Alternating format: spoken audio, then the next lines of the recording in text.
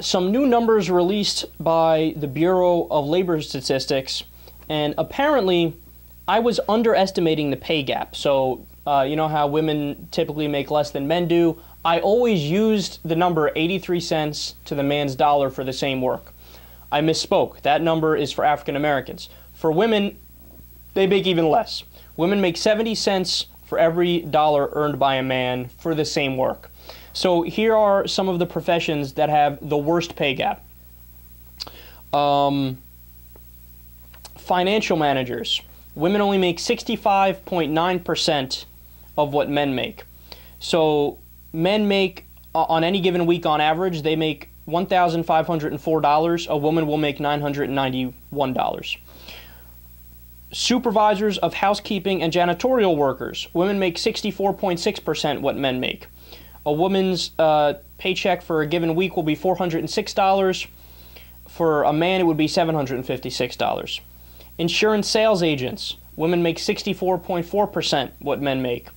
So a woman's median paycheck would be $665, a man's would be $1,033.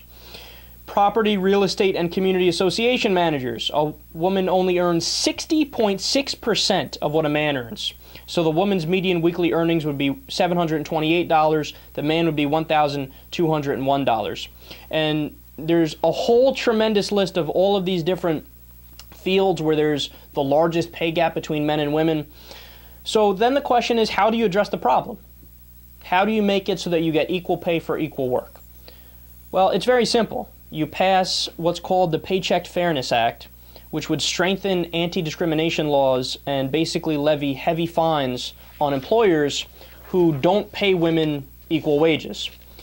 Now, the act actually was up for a vote not too long ago. In fact, it was last year, and it was filibustered by the Republicans. Stay classy, Republicans. Look, all the Democrats are asking for is that we can have equal pay for equal work. What does it matter what your genitals are if you're doing a, a particular job that has nothing to do with your genitals, right?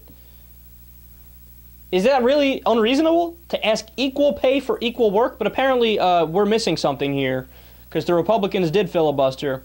And just to put it in perspective for you guys, how big of a difference this makes. The gender wage gap cost the average woman more than $430,000 over her working career. That's enough money to feed a family of four for 37 years. Damn.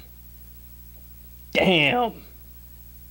God, these are some callous motherfuckers on the Republican side, man.